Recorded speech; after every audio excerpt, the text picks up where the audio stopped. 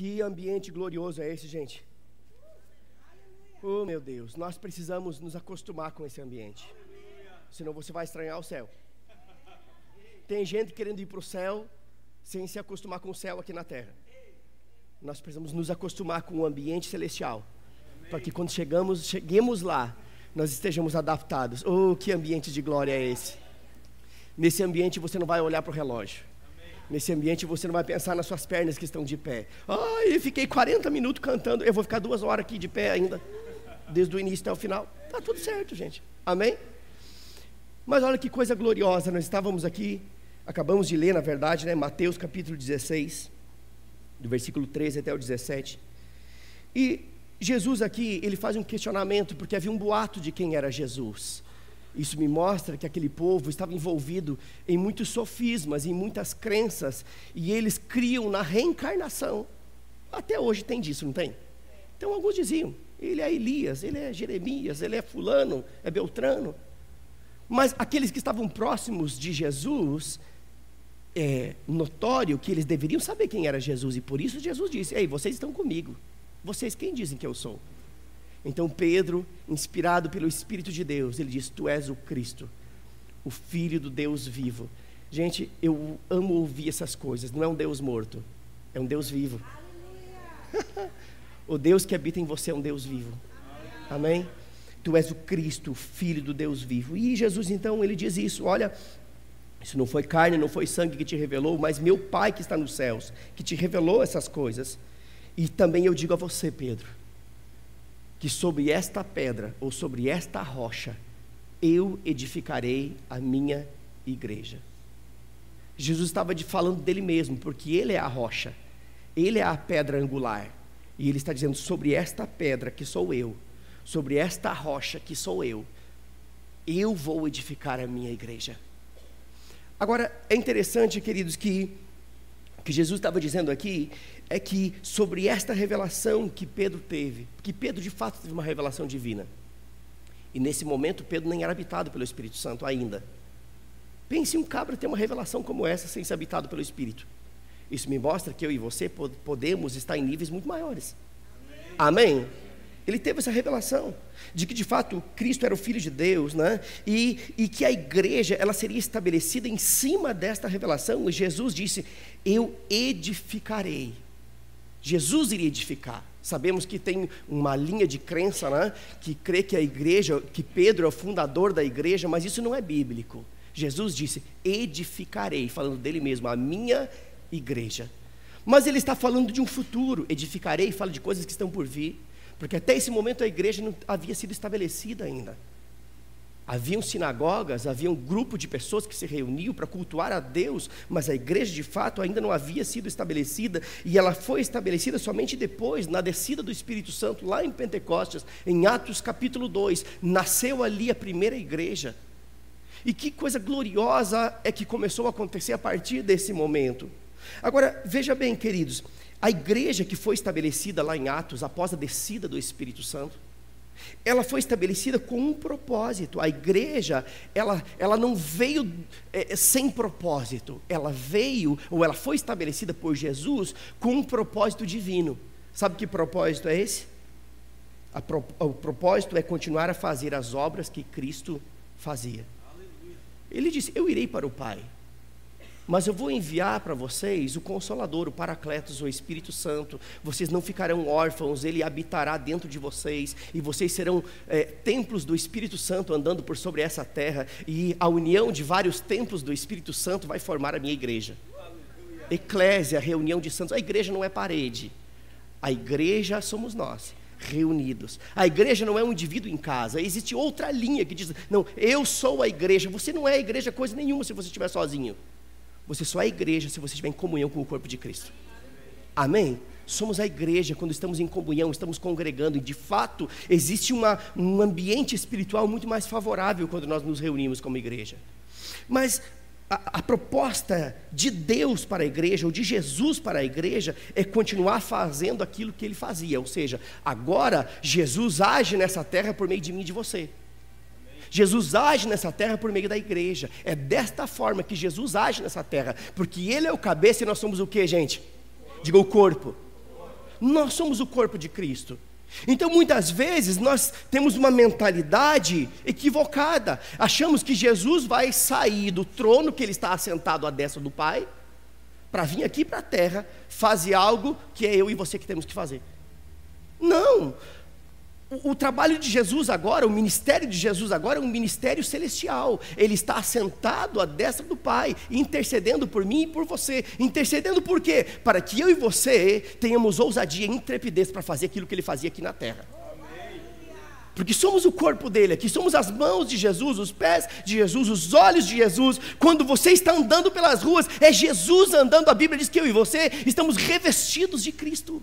Aleluia. Aleluia. Agora, veja bem, queridos, se a igreja foi estabelecida com esse propósito de continuar a fazer as obras que Cristo fazia, a minha pergunta é: o que era que Cristo fazia? A resposta talvez mais rasa seria: ah, milagres. Ele multiplicava pães e peixes, curava alguns cegos, surdos, mudos, coxos. Mas vamos ver o que a Bíblia diz? Atos capítulo 10, abra comigo.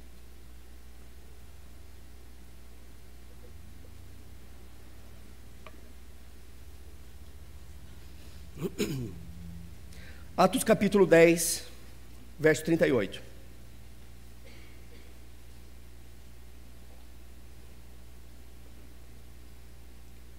Diz assim: diz que Deus ungiu, diga ungiu. Você vai entender porque eu pedi para você repetir isso.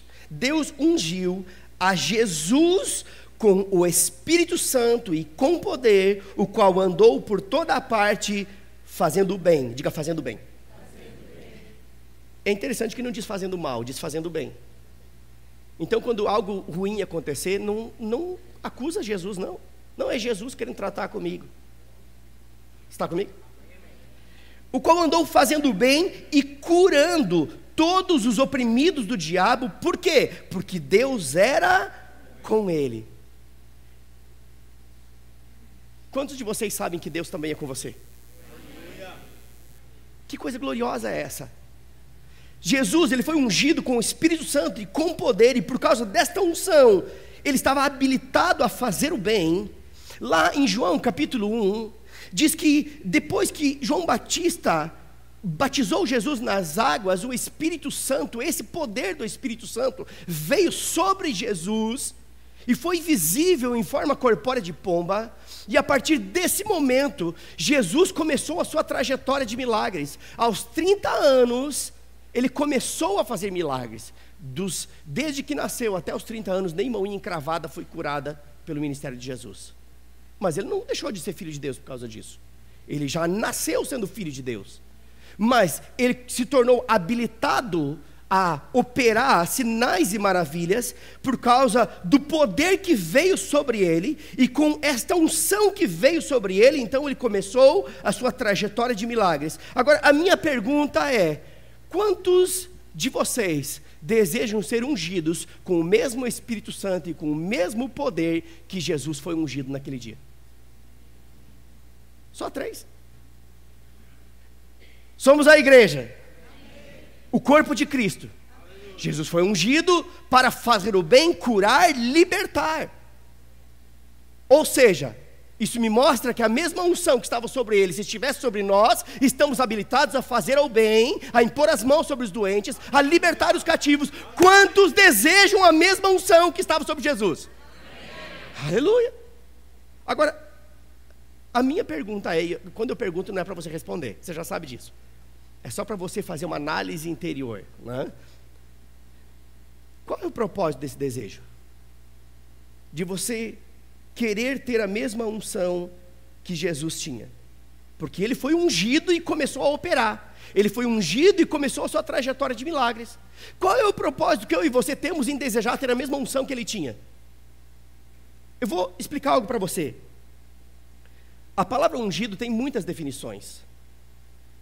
Mas eu estava estudando essa palavra e hoje veio uma, uma, clareza ao meu coração, e uma das definições da palavra ungido também significa, entre outras, olha isso. A palavra ungido significa revestimento de poder para realizar uma missão divina. Ungido significa um revestimento de poder para um propósito. Que propósito é esse? Uma missão divina.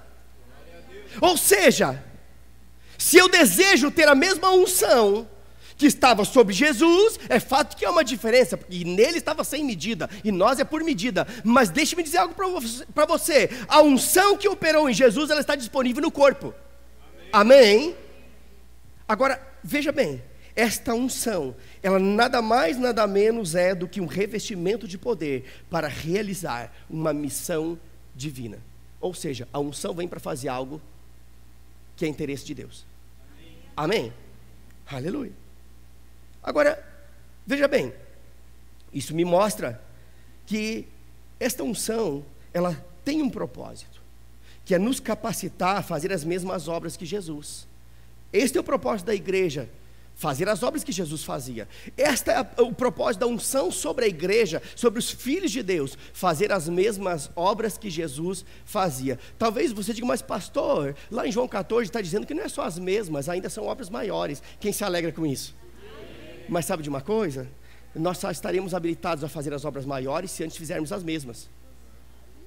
Tem gente querendo fazer obra maior e não faz as mesmas. Jesus, ele se movia em amor, em compaixão, em fé. O que norteava a caminhada de Jesus era isso. Jesus, ele se movia em compaixão. E a Bíblia diz: e ele teve compaixão. E aquela pessoa recebeu a oração e foi curada. Recebeu a imposição de mãos e foi curada. Sabe o que tem faltado no nosso meio? Compaixão. Sabe que a compaixão é pesar pela miséria que o outro está passando. Isso é compaixão. É você se identificar com o outro. O outro está passando um perrengue, você se identifica com ele. Você foi movido por compaixão. E a fé, queridos, ela vai operar por meio do amor, da compaixão. Quando você se identifica, você liberou o canal para a fé operar.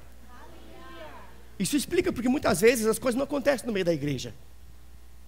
Agora, veja bem, queridos.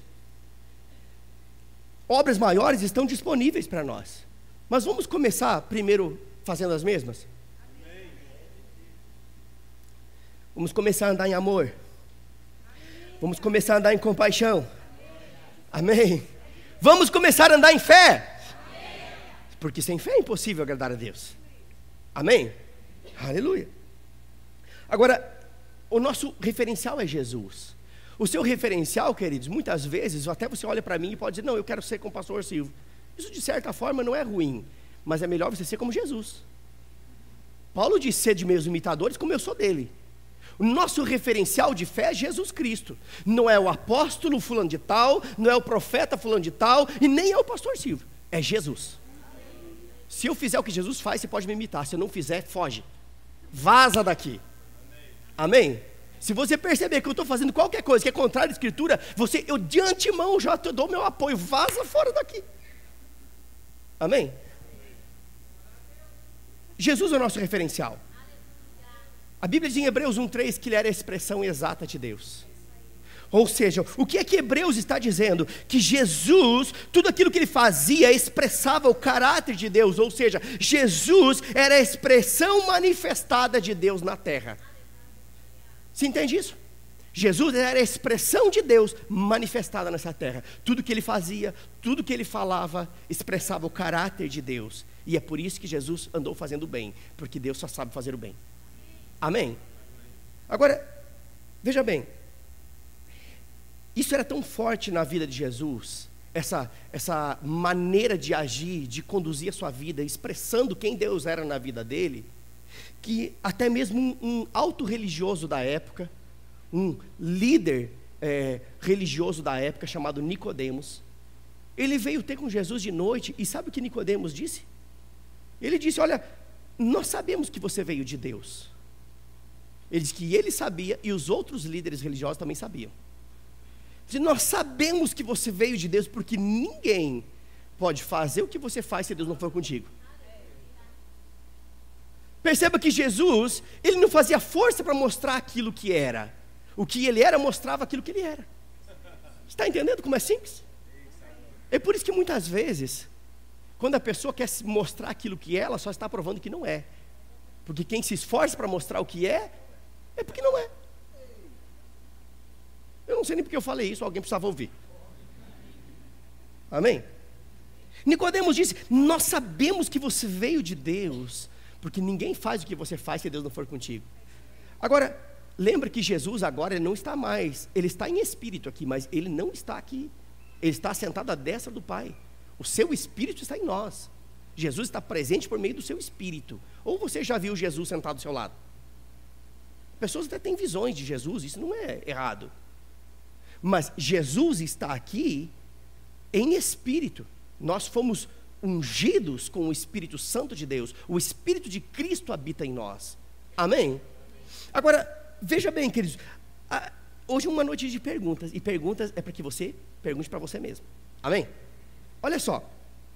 Sabemos que aqueles líderes religiosos sabiam quem Jesus era, sabiam que ele veio de Deus, porque aquilo que ele fazia expressava o caráter de Deus, expressava a vontade de Deus. A minha pergunta é, nessa noite, as pessoas do seu círculo de relacionamento, elas poderiam dizer a seu respeito: Eu sei que você é um homem de Deus, eu sei que você é uma mulher de Deus.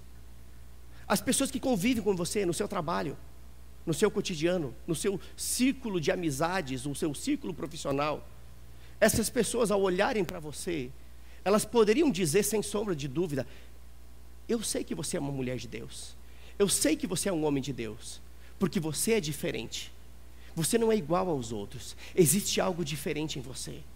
Eu sei que você é alguém muito de Deus.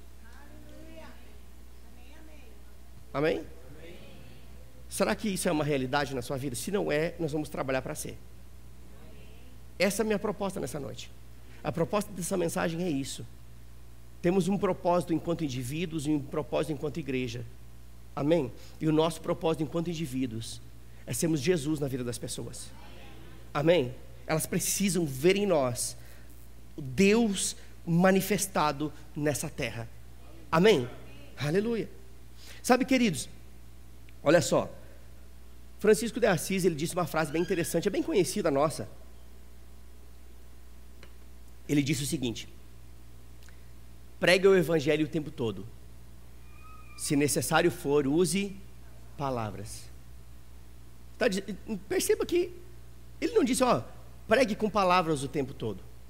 O que ele estava dizendo é: viva de uma forma que a sua vida pregue. E se for necessário, as suas palavras testificarão aquilo que você já está vivendo. Era isso que Francisco de Assis estava querendo dizer. Ele estava querendo dizer nada mais, nada menos que a nossa vida, ela deve ser um portfólio do Evangelho, da proposta do Evangelho. Sabe o que é um portfólio? Você abre e você vê a proposta. Né? Abre e você vê a proposta. Você está disposto a abrir a sua vida e mostrar a proposta do céu? Amém? Amém? Veja bem, queridos, eu estou falando de um propósito como indivíduos, como crentes que somos. A Bíblia diz que, que o nosso propósito como indivíduos é sermos uma, uma carta viva, escrita por Deus, mas lida pelos homens. Deus, por meio do seu Espírito, escreve. Os homens lerão as nossas atitudes. Amém? Olha só, queridos, hoje eu estou trazendo algumas frases aqui, mas é interessante isso, porque nós olhamos aqui na Bíblia e nós percebemos que isso que eu estou falando, de sermos carta viva, está aqui. Não é uma invencionice minha. Está na Bíblia. Lá em 2 Coríntios capítulo 3, verso 2 e 3, diz que nós devemos ser a carta de Cristo, escrita por Deus. Carta de Cristo, escrita por Deus. Deixa-me explicar o que isso significa. A carta de Cristo, escrita por Deus.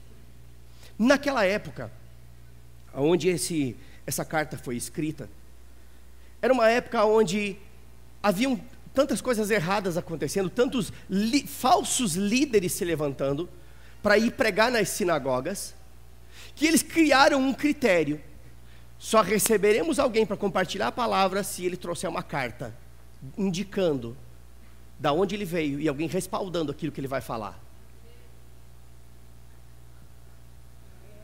Você está entendendo isso?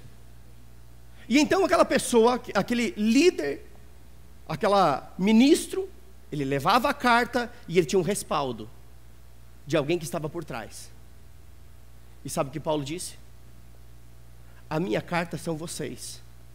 O que Deus fez na vida de vocês representa o ministério que eu estou servindo. Eu não preciso de um papel. Eu preciso que vocês vivam aquilo que eu ensinei. E a vida de vocês vai abrir as portas da pregação.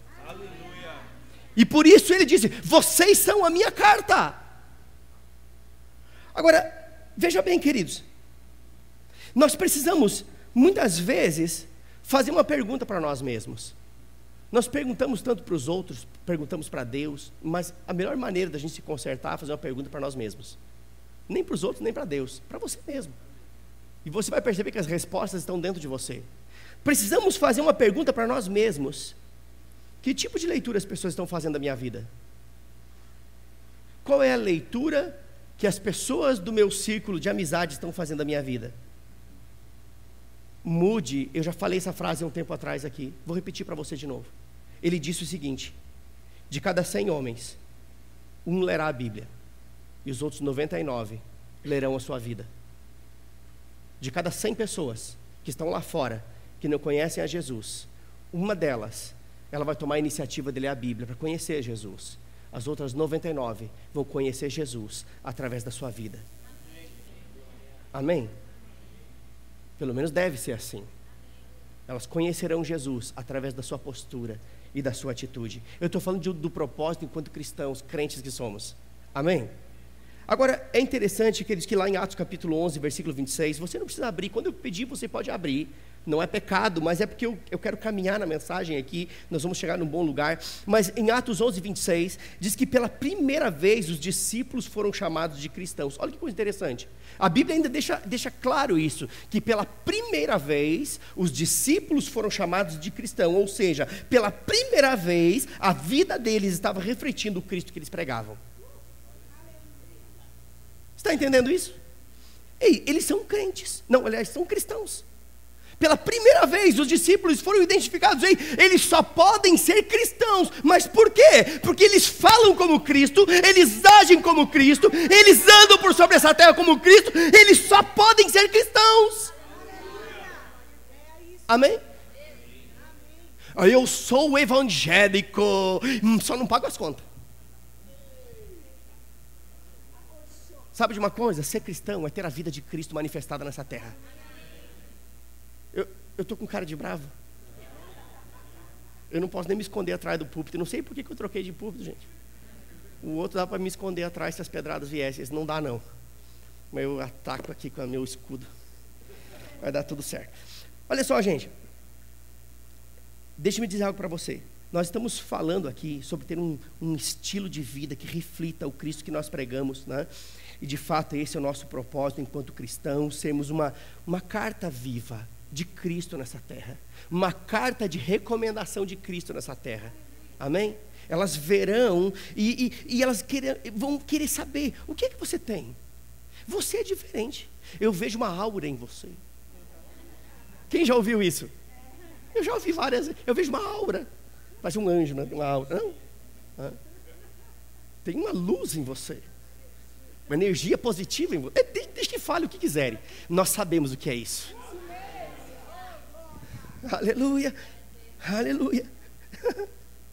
Sabe, queridos, é interessante que eu estou falando aqui do propósito enquanto cristãos. É, nós precisamos que assumir essa postura. Nós não temos mais tempo para perder com firula gospel. Amém, queridos? Não temos mais tempo a perder com Agora a onda fala mimimi, né? É isso? É isso, esse estranho aí. Não temos mais tempo a perder com isso. Ei, apelo do seu pastor. Seja um crente de fato. Que as pessoas olhem para mim e para você e digam: verdadeiramente esses são cristãos. Verdadeiramente esses, eles carregam algo diferente neles. Verdadeiramente, esses têm algo que nós não estamos conseguindo ver por aí. Eu acho que eles são crentes mesmo. Sabe, queridos, tem muito crente do Paraguai, com todo respeito aos nossos irmãos, irmãos. Mas tem muito crente falsificado. A aparência parece original, mas com o passar do tempo, acaba dando problema. Chegou o tempo de nós assumirmos a nossa identidade de crente. O sangue pode dar na canela, mas você não abre a boca para mentira. O sangue pode dar na canela, mas você não tira proveito de coisas que não são suas. Amém? Você não se vende por propostas de Satanás. Ah, mas não é de Satanás, é de uma pessoa usada por Satanás para te tirar do foco. Chegou o tempo de nós nos vestirmos com a identidade de Cristo. Amém? Mas é fato que também temos um propósito enquanto igreja. Amém? Olha só, queridos, hoje.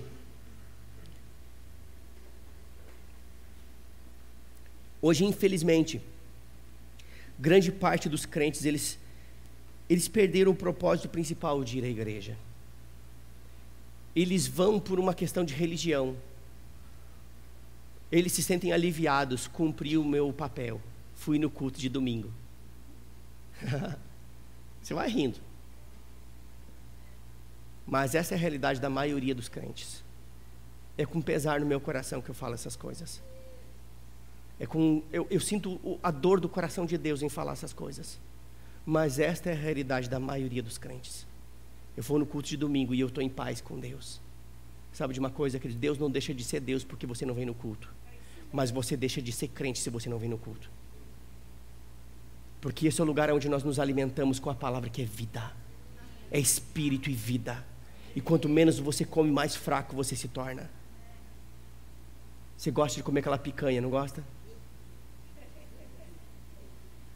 Mas deixa eu me dizer algo para você, queridos. Não existe alimento mais nutritivo do que a palavra de Deus. Te mantém de pé, te mantém forte. As circunstâncias da vida não te passam rasteira. Amém? Aleluia. Mas infelizmente, muitos crentes perderam esse propósito principal não sabem nem por que vão à igreja ou vão com a motivação errada.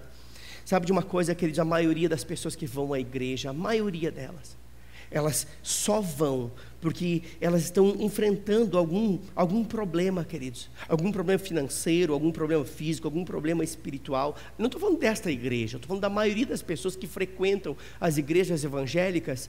Elas só vão porque estão com problema. Elas, eh, muitas igrejas Talvez ficaria mais fácil se elas mudassem a placa. Corpo de bombeiro gospel. A casa está pegando fogo. Aí vem para a igreja. As finanças estão todas atrapalhadas e vem para a igreja. Igreja não é corpo de bombeiro, queridos. A igreja não é postão 24 horas. Que você vai só quando não aguenta mais. A igreja é o lugar onde você fica fortalecido na palavra de Deus, em comunhão com os seus irmãos. E quando o diabo tentar atacar você, você está tão firme, mas tão firme, que ele não vai dar conta, porque você vai estar convicto de que o maior habita em você. Aleluia, aleluia.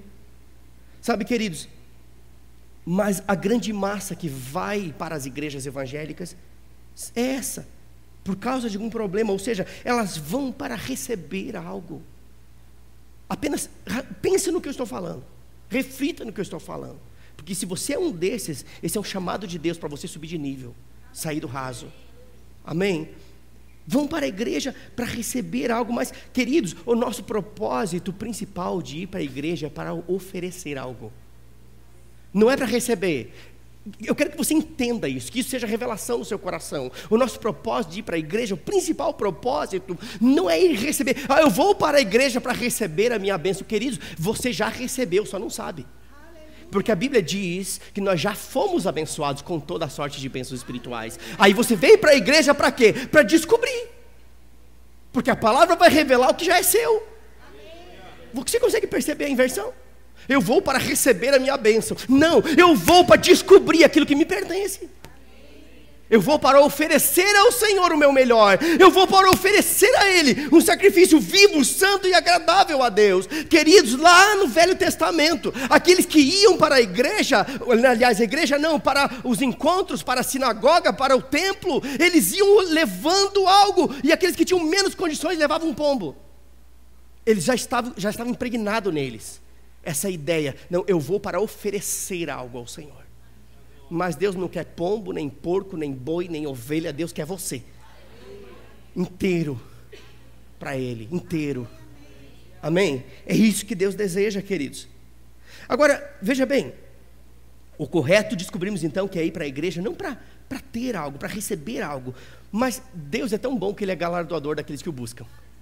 Quando nós buscamos Ele porque o amamos, nós não voltamos de mãos vazias. Ei, ninguém consegue vencer Deus no quesito dar. Ah, eu dou tudo, tudo que você der, não chega nem perto daquilo que Deus deu. Você pode ser um, um, um, doador profissional, PhD em doar, mesmo assim você não vai conseguir vencer Deus. Sabe por quê? Porque Deus ele te amou tanto que ele deu o melhor que ele tinha. Amém. Ninguém vence Deus. E Deus é sábio e ele disse é melhor dar do que receber. Pensa comigo. As pessoas vêm para a igreja para receber, mas a Bíblia diz é melhor dar do que receber. Eu não estou falando de dinheiro aqui. Eu estou falando de você doar a sua vida, o seu coração vim para a igreja com essa intenção no seu coração. Amém? É oferecer a Ele uma vida de adoração, uma vida de santidade, uma vida rendida a Ele, queridos. É isso que Deus deseja. Deus quer que você se renda a Ele. Então nós vamos desfrutar de um avivamento tão poderoso, tão poderoso, tão poderoso, que as pessoas entrarão por aqui doentes e elas serão curadas quando botarem o pé aqui dentro, por causa da unção disponível nesse lugar. Aleluia. Aleluia. Oh, meu Deus. Aleluia.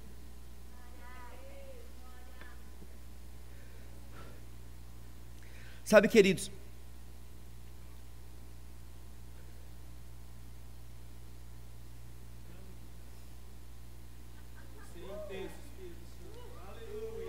Olha só, queridos, a inversão. As pessoas vêm para a igreja para ter algo. Mas a proposta de Deus é irmos para a igreja para ser algo. Deus quer que você seja algo. Deixa eu me explicar isso para você. É comum algumas pessoas elas fazerem uma oração bem curtinha antes de vir para o culto. Mais ou menos assim: Senhor, usa alguém para falar comigo, Senhor. Você nunca fez isso. Vai rindo e olha para frente e não vou achar que é você. Oh Senhor! Aleluia! Usa o pastor. Usa alguém. Faz alguma coisa. Usa um jumento. Não, jumento não pode usar porque não entra aqui na igreja. Usa uma mula. Sabe que até a mula falou com o balão? Eu espero que você não seja no nível de, mala, de Balaão que Deus tem que usar uma mula. Deixa Deus usar seu pastor, que é melhor. Amém? Mas muitos, eles fazem essa oração, Senhor, usa alguém para falar comigo. Sabe de uma coisa? Essa é a oração típica do imaturo. Desculpa se você já fez isso, eu já fiz. Levantar os pés, as mãos. Senhor, por favor. Sabe de uma coisa? Por que eu estou falando que essa é a oração típica do imaturo? Porque um crente maduro, ele oraria dessa forma: Senhor, me usa para que eu possa ser uma bênção na vida de alguém. Você consegue discernir a diferença entre as duas? Senhor, levanta alguém para falar comigo. Imaturo. Senhor, me usa para ser uma bênção na vida de alguém. Maduro. Então você decide para que lado você vai. Amém? E a Bíblia diz: não sejam como meninos. Porque quando eu era criança, eu agia como criança, pensava como criança, falava como criança, mas eu deixei de ser criança. Eu continuo pequeno, mas deixei de ser criança. Amém? Agora, é fato que muitos não oram dessa forma, sabe por quê? Tem medo que Deus fale mesmo. Ah, eu não vou orar para Deus me usar para ser bênção na vida de alguém. Vai que Deus fala. Vai que Deus fala para me dar algo para alguém. Vai que Deus fala para mim pagar o rema para alguém.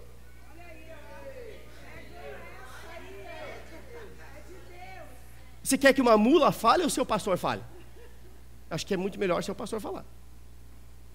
Amém? Sabe de uma coisa, queridos? Nós precisamos parar de sermos é, egoístas, esperando que as pessoas façam algo por nós. Comece a fazer algo pelas pessoas e você vai ver a sua sorte ser mudada.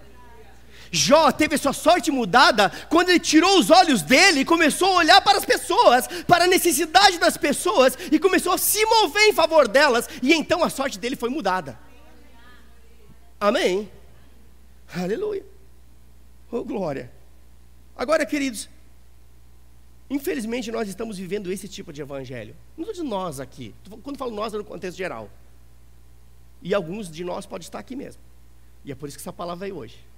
Muitas vezes nós estamos vivendo esse evangelho egoísta.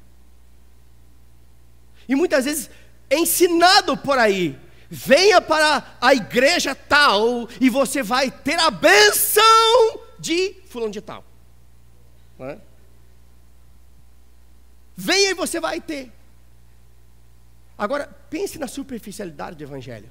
O Evangelho não é isso. O Evangelho não é venha e você vai ter. O verdadeiro Evangelho é venha e você vai ser. Vai ser o quê? Vai ser o que o seu irmão precisa. Vai ser o que a sua esposa precisa. Vai ser o que o seu marido precisa. Você vai ser o que seus patrões precisam. Você vai ser o que essa sociedade precisa. Venha e o agir de Deus na sua vida vai fazer você ser o que você deve ser, o que você nasceu para ser.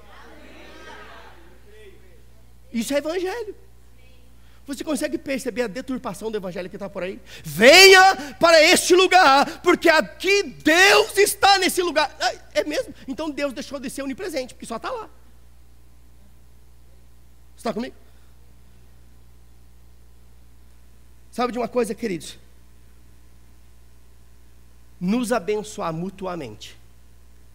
Esse deveria ser o nosso segundo principal motivo de vir para a igreja. O primeiro eu já falei. Ir para adorá-lo, para amá-lo, para servi-lo, para dar a Ele o nosso melhor, um sacrifício vivo, santo e agradável. O segundo, principal propósito deveria ser nos abençoar mutuamente. Atos capítulo 2, abra sua Bíblia.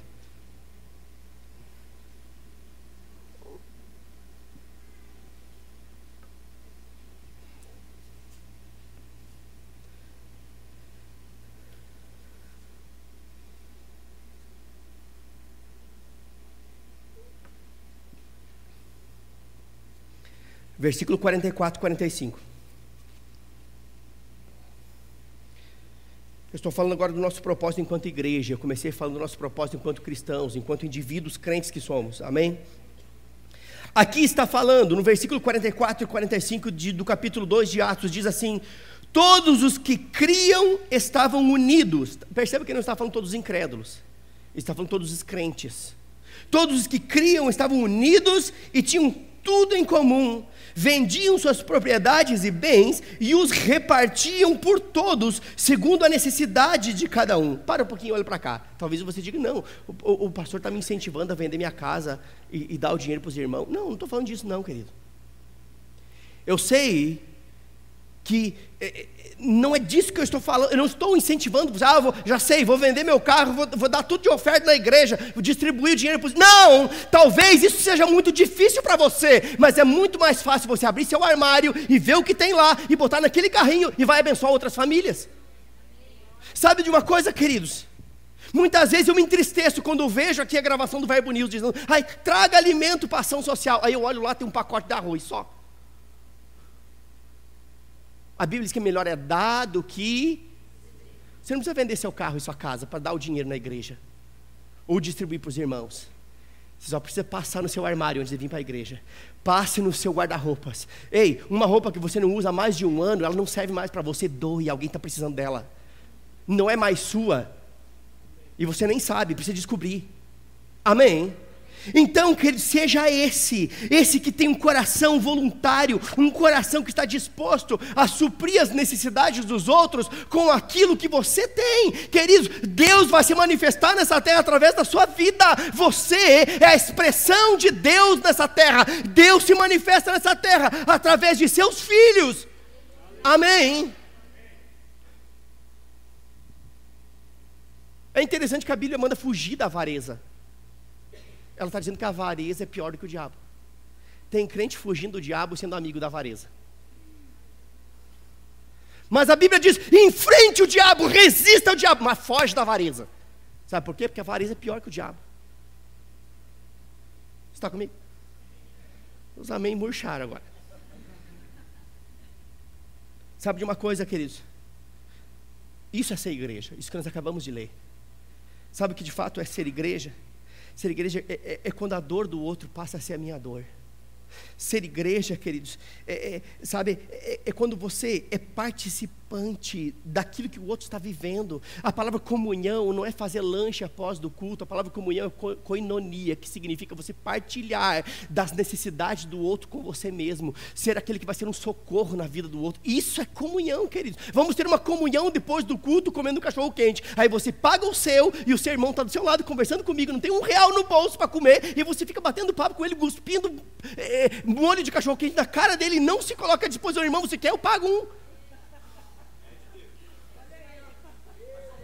Isso é comunhão, isso é entretenimento gospel. Isso não é comunhão. Vamos parar de frescura, queridos. Eu não quero isso aqui na igreja. Se isso não serve para você, querido, eu não vou te convidar a sair, porque eu não, eu não posso fazer isso. Mas vou dizer uma coisa para você: ou você é crente e fica, ou você é meia boca e vaza. Porque você não vai suportar. Eu não vou te convidar a sair, não. Eu, eu não tenho autoridade para fazer isso. A igreja não é minha? Está comigo? Mas aqui é um lugar de crentes de fato. Amém? Oh, aleluia.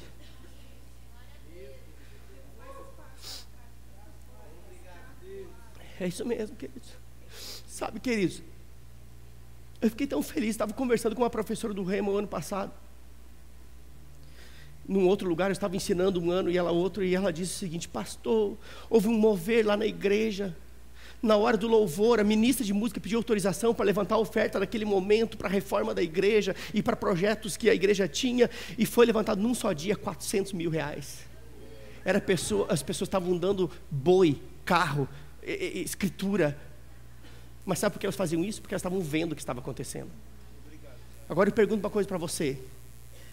Em algum outro lugar você viu as coisas acontecerem como você tem visto acontecer de uma forma tão acelerada? Sabe por que a prioridade dessa igreja é você? A prioridade dessa igreja são as pessoas. E por causa das pessoas, nós queremos fazer as coisas de forma excelente. Você é a igreja. E você merece. E Deus está envolvido com isso. Amém? Aleluia. Oh, glória. Sabe, queridos, eu acho interessante que Jesus ele disse sobre esta rocha, sobre esta revelação de que eu sou o Cristo, eu edificarei a minha igreja. Ele não disse eu edificarei o meu clube. Nós não somos um clube. Um clube você paga uma cota mensal para desfrutar de tudo aquilo que ele oferece. Uma igreja não é assim. Uma igreja você olha para as pessoas e, e você está interessado com o bem-estar delas. Você não pergunta por desencargo de consciência, como está? E vira as costas e sai. Ser igreja é se importar com os outros. Sabe, queridos, eu espero que a partir desse culto, nosso espaço da ação social seja pequeno demais. Eu fiquei com vergonha esses dias. Chegou uma pessoa para precisando de uma cesta básica. E eu fui ver o que tinha lá. Eu fiquei envergonhado. Eu queria, queridos, nós precisamos trazer coisas boas para a ação social. Amém. Amém? O que você come na sua casa, é isso que você traz. Se você usa um papel higiênico bom, você traz um igual. Você não vai comprar aquele sabugo. Lixo. Alguns não sabem nem o que é sabugo. Eu não estou dizendo que deve comprar o melhor que tem, mas igual que você consome. Porque você ama as pessoas. E você vai dar segundo aquilo que tem, não segundo o que não tem, diz a palavra. Amém? Isto é ser igreja. Sabe de uma coisa, queridos? Nós temos um, um, um, padrão aqui na igreja bíblico. A ação social atende primeiramente os domésticos da fé, os da família da fé, porque a Bíblia diz que deve ser assim. Então, o alvo da ação social, o primeiro alvo da ação social, mesmo que esteja alguém lá fora precisando de algo, primeiramente é os da casa. Quando suprir aqui, nós vamos atender os de lá. A Bíblia diz que deve ser assim. Mas graças a Deus, nós temos chegado a tantas famílias. Que coisa gloriosa é isso. Sabe, queridos, eu sei que é importante orar pelas pessoas, temos que orar pelas pessoas sim. Você deve ir e orar, você deve ir e pregar, mas deixe-me dizer uma coisa para você: a sua oração ela vai ser muito mais eficaz se a pessoa que vai receber a oração ela esteja saciada da fome e livre do frio. É mais fácil ela crer, sabe por quê? Antes de você falar de Jesus, ela vai ver Jesus Amém. em você, nas suas atitudes Amém? É muito mais fácil. Abre comigo em Tiago capítulo 2. Tiago capítulo 2, versículo 15 e 16. Esse texto está falando de fé, mas eu quero pegar aqui é, a analogia que foi feita, porque o princípio está envolvido aqui. Diz o seguinte, Tiago capítulo 2, versículo 15 e 16, diz assim: Se um irmão ou irmã estiverem nus, não está falando de nu de pelado, gente, pelo amor de Deus. Aqui está falando nu, precisando de roupa. Amém? Diz o seguinte: se, se um irmão ou irmã estiverem nus e estiverem e tiverem falta de mantimento cotidiano, e algum de vós disser, ide em paz, aquentai-vos e fartai-vos, e não lhes deres as coisas necessárias para o corpo, que proveito há disso? Que proveito há a sua oração se o cabra está com fome? Que proveito há a sua oração se o cara está batendo queixo de frio? Aquenta ele e daí fala de Jesus supra a necessidade dele, depois fala de Jesus. Seja Jesus e depois apresente Jesus. Amém? Primeira de João, vá comigo para lá, avança um pouquinho. Prime, não é Evangelho de João, é primeira de João, lá no final da sua Bíblia. Capítulo 3. Estou falando do nosso propósito como igreja, como indivíduos e como igreja. Diz o seguinte, capítulo 3, versículo 17. 1 de João 3,17. Diz assim: você abriu comigo? Se alguém possuir recursos materiais e observando seu irmão passando necessidade, perceba que está falando com crentes aqui, irmão, crentes, família da fé. E observando seu irmão passando necessidade, não se compadecer dele, como é possível permanecer nele o amor de Deus? Eita. Pense num, num negócio arrochado. Aí você diz que eu arrocho. Não, o arrocho está aqui. Ó. Aqui está dizendo: se alguém que tem recurso, tem bens, observa o seu irmão passando uma necessidade, não se compadece dele, não supre a necessidade dele, como é possível permanecer nele o amor de Deus? Ei, o amor é doador, Deus amou tanto que deu. Ele não reteve. Deus amou tanto que reteve a Jesus. Não, Deus amou tanto que deu. Ah, eu quero ser como Jesus. Eu quero ser como Deus. Então comece a dar. Porque Deus amou e deu. Obrigado, pastor Rodrigo. Você é, um, você é meu amigo. A motivação de vocês me empolga. Mas nem por isso eu vou mudar minha mensagem. Amém? Aleluia. Sabe de uma coisa, queridos? Nós precisamos entender que quando nós assistimos alguém em alguma necessidade, nós estamos sendo Jesus na vida delas. Oh, meu Deus. Mais do que isso, sabe o que a Bíblia diz? Eu estou quase finalizando aqui. A Bíblia diz que quando eu e você estamos assistindo alguém em alguma necessidade, nós estamos fazendo isso para o próprio Jesus. Mateus 25, abra comigo. A partir do verso 34. Eu falei que quando nós assistimos alguém a uma necessidade, nós estamos sendo Jesus na vida delas, mas que mais do que isso, nós estamos fazendo isso para o próprio Jesus. Mateus 25, 34 ao 40 diz o seguinte: Então dirá o rei aos que estiverem à sua direita: Vinde benditos do meu Pai. Quem vai ouvir isso? Aleluia, eu tenho expectativa desse dia. Amém? Eu vou ouvir isso. Ei, venha bendito do meu Pai. Amém? Então dirá o rei aos que estiverem à sua direita: Vinde benditos do meu Pai, possuí por herança o reino que vos está preparado desde a fundação do mundo. Por quê? Porque tive fome e destes de comer Tive sede e me destes de beber. Era forasteiro ou estrangeiro e me acolhestes. Estava nu ou com falta de roupa e me vestistes. Adoeci e me visitastes. Estava na prisão e foste me ver. Então os justos, quantos justos temos aqui?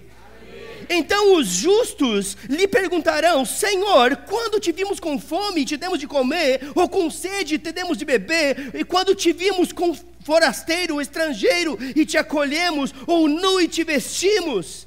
Quando te vimos enfermo ou na prisão e fomos visitar-te?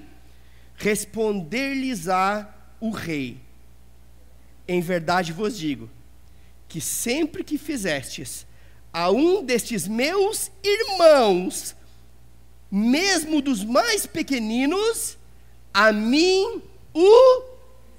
Eita! Quando você atende alguém, assiste alguém, quando você abençoa alguém, você não está fazendo isso é, para uma pessoa apenas, você está assistindo a pessoa, mas quem recebe é Jesus. É como se você estivesse fazendo isso para Ele, e naquele dia glorioso, você vai ouvir: Ei, pode entrar, porque você foi Cristo lá na terra. Você foi como eu, você andou fazendo bem, andou em compaixão, andou em amor, você andou em fé, você andou da maneira que eu andei. Por isso você pode entrar. Venha, bendito, abençoado. Esse é o teu lugar. Aleluia. Sabe de uma coisa, queridos? Eu creio que chegou o tempo de nós sermos uma igreja que realmente faça diferença. Amém? Eu quero que as pessoas passem aqui na frente, não fiquem olhando para a fachada da igreja. Que fachada bonita. É que elas passem aqui e digam: Esta é aquela igreja que eu ouvi falar. Que igreja? Aquela que esse povo é um povo que está fazendo a diferença, está assistindo as pessoas na cidade. Eles estão, eles estão fazendo de uma forma diferente o evangelho, estão vivendo de uma forma diferente. Esta aí, lembra aquela igreja que eu te falei? Aquela igreja diferenciada, aquela igreja que está vivendo a palavra. Essa aí. Chegou esse tempo, queridos de nós fazermos a diferença nessa cidade e nessa sociedade. Amém, queridos? Eu quero que essa igreja tenha cheiro de Jesus. As pessoas entrem aqui, que cheiro é esse? É cheiro de Jesus. Mas sabe quem vai cheirar Jesus? Os cristãos. Exalando o bom perfume de Cristo. Não só na igreja, mas também lá fora. Amém?